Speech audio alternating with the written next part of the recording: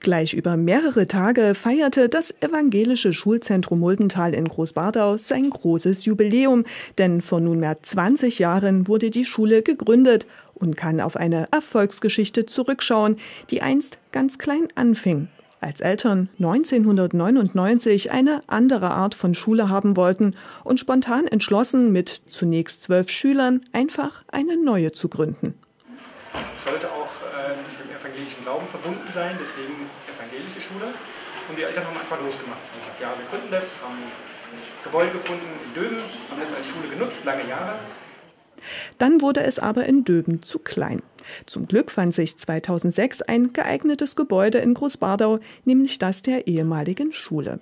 Es konnte also umgebaut, ausgebaut und erweitert werden, sodass heute insgesamt 350 Schülerinnen und Schüler an der Grund- und Mittelschule sowie am Gymnasium hier zur Schule gehen können.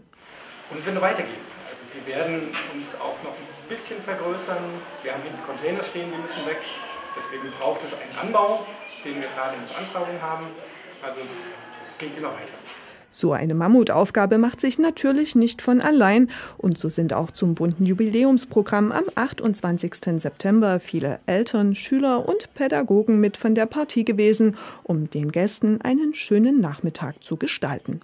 Egal ob Aufbau, Kuchen oder Getränkeverkauf, viele helfende Hände waren im Einsatz. Und so sieht Geschäftsführer Nico Kleinknecht auch der Zukunft sehr positiv entgegen, wenngleich der neue Anbau nicht zwangsläufig auch heißt, dass noch viele Schüler hinzukommen werden.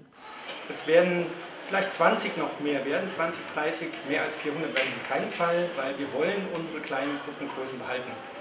Nie mehr als 22 Kinder, Schülerinnen und Schüler in einer Gruppe, damit die Bindung noch da ist. Denn erst Bindung, dann Bildung. Und welche Freude die Jungen und Mädchen an den zahlreichen Angeboten im evangelischen Schulzentrum haben, das zeigten sie auch auf der Bühne. So lud die Theatergruppe zum Mitmachen ins Taxi ein und auch musikalisch gab es ein kleines Programm.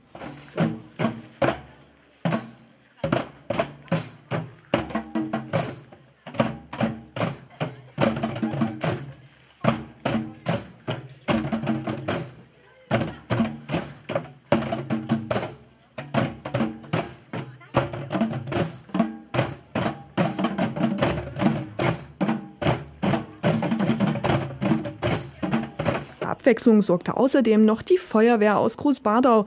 Da nutzten viele Kids die Möglichkeit, mal in einem echten Feuerwehrauto zu sitzen.